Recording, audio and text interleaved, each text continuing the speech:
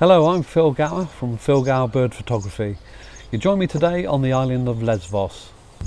For the past 30 years, Lesvos has established itself as a premier birding location in the Mediterranean basin and in the wider Western Palearctic. It combines the excitement of migration with several species that are really difficult to see anywhere else in Europe. It's my first time here, so join me to see how many birds we can photograph in the next two weeks. Come on.